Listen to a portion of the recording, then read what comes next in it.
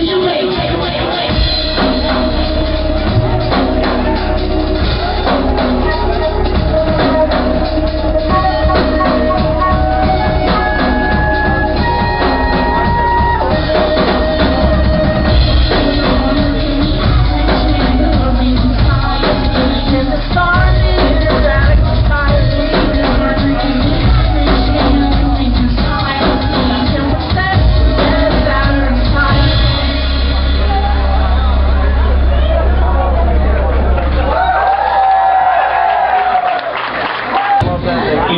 cool about the election? I was watching it, and then they were showing all the McCain states. And I'm, I'm in this bar, and I didn't really know anyone, and I was like, "Hey, can we just cut the fucking South off?